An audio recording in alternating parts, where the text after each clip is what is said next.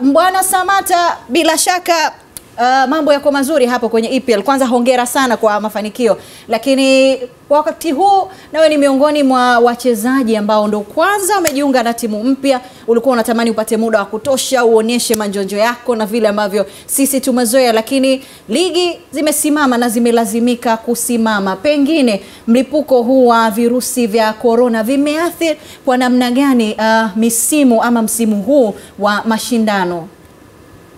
Sasa mi nafikiri tayari limeshaharibu limeshaharibu msimu huu kwa sababu ligi zimesimama.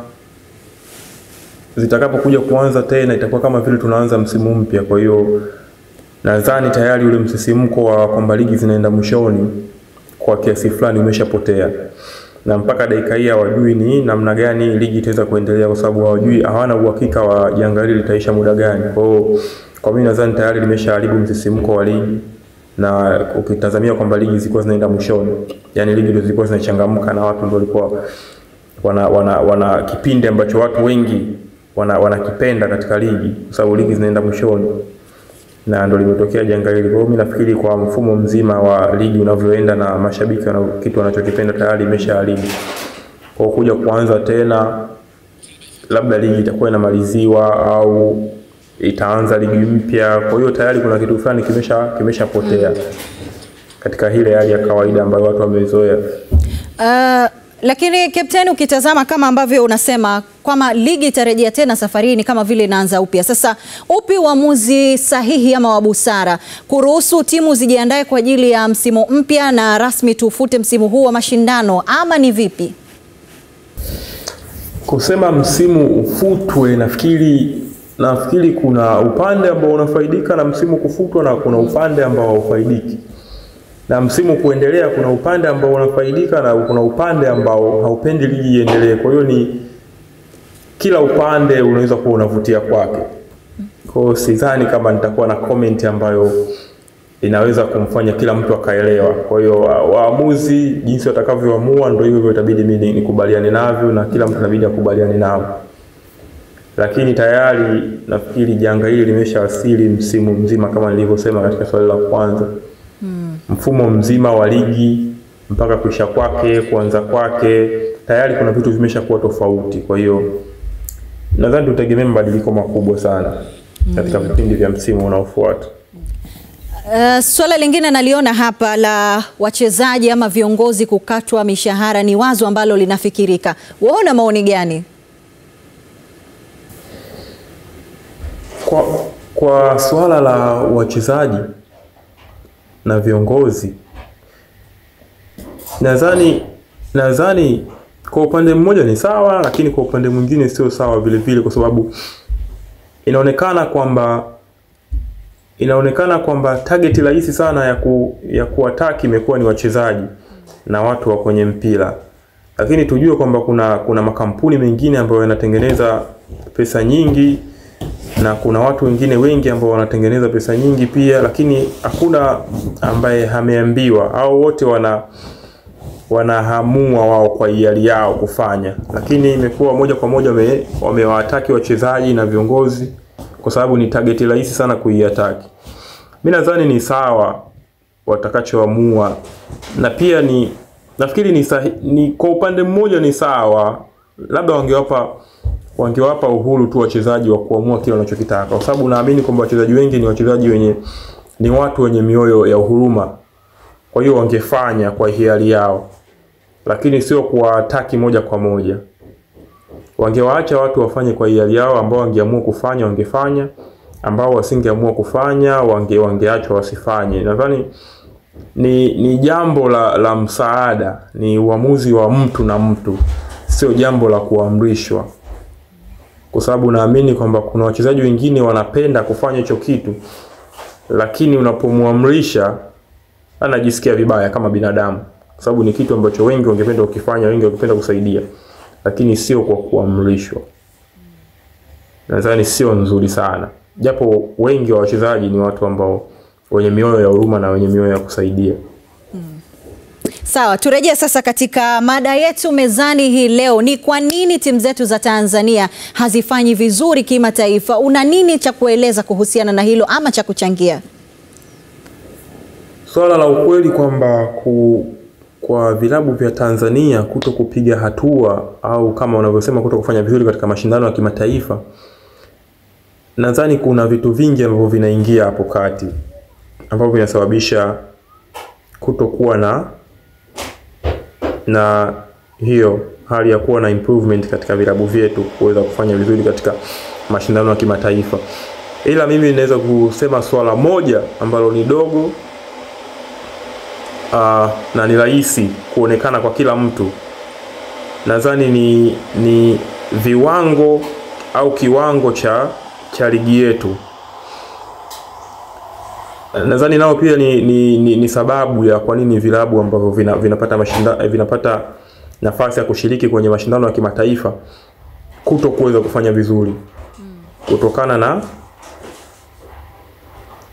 jambo dogo ni ni ligi ligi nzima, kwa sababu ukiangalia ligi yetu ya Tanzania timu zenye uwezo wa kutengeneza kikosi ambacho kinaweza kushindana kimataifa. Ni vilabu vichache ambavyo vina uwezo wa kutengeneza kikosi cha kushindana kimataifa, na vile vile unahitaji kupata, kwa sababu muda mwingi unakuwa katika ligi, unahitaji kupata challenge kubwa katika ligi ambayo itakufanya uwe strong kuweza kushindana na vilabu vya nje katika mashindano hayo ya kimataifa. Kwa hiyo unaweza kusema kwamba kwa lugha nyepesi ni kwamba ligi yetu bado haijaweza kuchallenge vile vilabu ambavyo vina vinashindana vina, vina, vina kimataifa kuweza kuwa katika kiwango bora cha kushindana na hivyo vilabu ambavyo vinatoka sehemu nyingine. Kwa mfano ukiangalia tunaweza kufanya vizuri katika hatua za mwanzo, lakini inapofika kipindi kwenye hatua ngumu tunapata shida, kwa sababu unaweza kuwa hatua za mwanzo unakutana na vilabu ambavyo ni vya levo yako, levo ambayo unaweza kupambana navyo na ukapata ushindi, yani inakuwa ni hamsini hamsini, kwamba timu klabu yote inaweza kupata ushindi katika hiyo levo. Lakini tunavyoenda kadri tunavyozidi kwenda unakutana na, na vilabu ambavyo vimetuzidi kwa kwa kwa kwa aina ya ligi ambayo inazo, inazotoka na vi, budget ya vilabu ambavyo ina vime, vimetengenezwa. Kwa hiyo tuachane na budget, lakini ligi ambazo vilabu hivyo vinatoka unaweza kukuta vina challenge, kuna challenge kubwa tofauti na katika ligi yetu mm. na ndio maana tuna, tuna tunapata tabu, lakini naamini kwamba kadri muda unavyozidi kwenda tuna tunaendelea kupiga hatua mm. na ni vitu ambavyo vinatakiwa vi, vi, viwekewe plan ili kuweza kufanikiwa, si kwamba tunasajili wachezaji wazuri and then basi tutapata mafanikio kimataifa. Nadhani ni plan ya muda mrefu, ni vitu ambavyo vinatakiwa vijengwe kwa wakati ili kuweza kupata mafanikio huko tunakokwenda. Kwa hiyo nadhani kadri siku inavyozidi kwenda na jinsi uh, soka letu Tanzania linavyozidi ku, ku, kusogea linazidi kupanuka, basi naweka kwamba kuna siku itafika vilabu vyetu vya Tanzania vitaweza kufanya vizuri pia katika mashindano ya kimataifa. Ni jambo la muda tu. Pengine kuyatamani mafanikio ya muda mfupi kiasi cha kwamba vilabu havitulii na makocha kutwa wanabadili ikawa ni miongoni mwa chanzo cha haya. Nadhani si swala la kwamba vilabu vinatamani mafanikio kwa haraka, ila nafikiri kila klabu ambayo inaweza kumlipa kocha kiasi fulani cha pesa na kuweza kununua wachezaji ni lazima watamani mafanikio, kwa sababu wanawekeza pesa katika hilo. Kwa hiyo ni lazima mafanikio wayahitaji kwa haraka. Huwezi kumlipa pesa pesa nyingi kocha au ukatengeneza kikosi cha gharama alafu eti ukasubiria baada ya miaka minne mitano ili uweze kupata mafanikio. Sasa kuna haja gani ya, ku, ya kuweka bajeti kubwa katika kikosi? Kwa mimi nafikiri ni jambo la kawaida, sio swala la kwamba timu vilabu vinahitaji mafanikio ya haraka. Hilo ni jambo la kawaida kabisa, mm. ikiwa wana uwezo wa kutengeneza wa kuweka bajeti kubwa kwa ajili ya mashindano. Kwa hiyo mimi nafikiri hilo kwangu ni jambo la kawaida kabisa kudemand kutokana na bajeti unayoweka. Ingekuwa vilabu vinataka kutengeneza structure ya muda mrefu, basi vingekuwa vinahitaji kutengeneza ku, ku, ku, kutengeneza bajeti kubwa kwa ajili ya kununua wachezaji, ku, ku, ku, kuweka makocha wa wa viwango vikubwa ingeweza kutafuta makocha wa kawaida wakatengeneza waka, wakapanga plani ya muda mrefu, lakini wakiwekeza pesa, maanake wanahitaji mafanikio ya haraka, ndio maana watu wanaweka pesa. Okay. Kwa hiyo si nadhani ni kawaida sana. Umepita Mazembe, Mbwana Samata, moja kati ya timu ambayo ina sifa aina yake barani Afrika. Wenzetu walikuwa wanafanyaje kiasi cha kupata haya mafanikio? Mazembe, nadhani Mazembe wao walichokuwa kikubwa wanakifanya ni nadhani tayari ukishakuwa unasajiliwa na TP Mazembe unafahamu moja kwa moja kwamba hii ni moja ya vilabu vikubwa Afrika. Kwa hiyo si sasa hivi kwamba wanapata mafanikio, ila ni vitu ambavyo walivifanya miaka mingi iliyopita ili kuweza kufika sasa hivi kujitambulisha wao kama moja ya vilabu vikubwa Afrika.